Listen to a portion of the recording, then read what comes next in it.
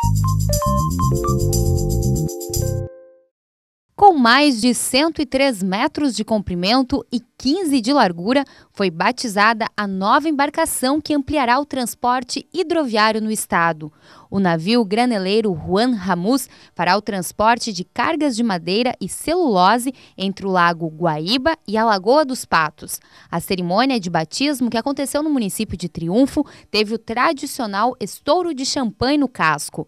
O governador José Ivo Sartori participou do evento e destacou os esforços do governo na busca de incentivos para o setor. Banrisul, BRDE, especialmente no caso desta embarcação, bem como os outros incentivos que são feitos na atração de investimentos.